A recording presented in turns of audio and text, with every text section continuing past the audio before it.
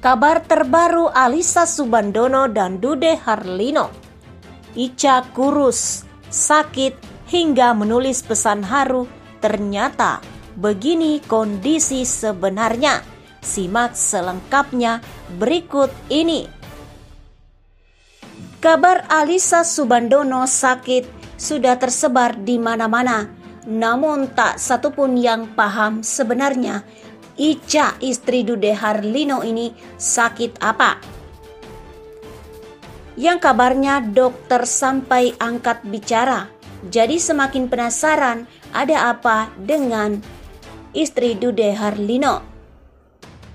Jangan ke mana-mana, tetap stay di channel ini agar informasi yang Anda terima benar-benar lengkap.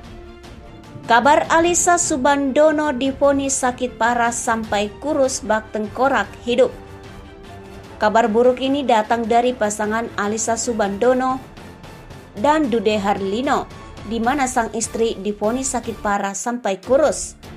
Apalagi sang dokter sudah angkat tangan karena istri Dude Harlino difonis sakit parah hingga tubuh Alisa semakin bak tengkorak. Alisa Subandono tulis pesan menyentuh untuk Dude Harlino. Artis sinetron Alisa Subandono sempat menjadi sorotan netizen lantaran perubahan fisiknya yang terlihat semakin kurus. Bahkan netizen menilai kondisi itu membuat wajah istri Dude Harlino ini terlihat menua, tak sesuai dengan usia yang sebenarnya. Kak Ica, kenapa badannya semakin kurus? Ada yang dipikirkan atau tertekan batin karena ada masalah inter ya? Sabar ya kak, tulis netizen di kolom komentar Instagram Alisa Subandono. Setelah kondisi fisik menjadi sorotan, perempuan yang akrab disapa Ica ini mengunggah foto kebersamaan dengan Dude Harlino. Unggahan Ica rupanya berkaitan dengan perayaan ulang tahun sang suami Dude Harlino ke-42 yang jatuh pada Jumat 2 Desember. Alisa merayakan momen spesial tersebut dengan membagikan potret bersama Dude di media sosial. Dalam unggahannya di Instagram, Ica menuliskan pesan menyentuh untuk sang suami. Begini isi pesan menyentuh yang ditulis Alisa Subandono. Alisa berujar bahwa Dudi adalah sosok suami sekaligus ayah yang selalu berjuang keras demi keluarga.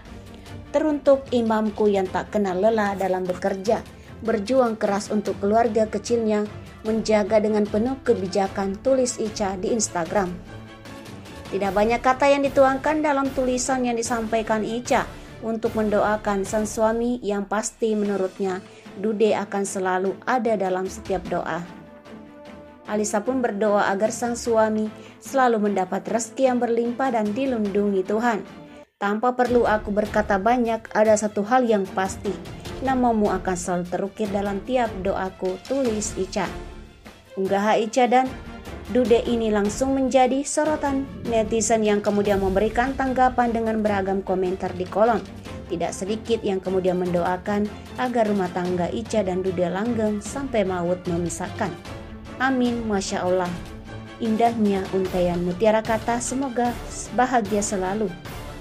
Takkan terpisahkan amin tulis seorang netizen. Sekian dari video ini.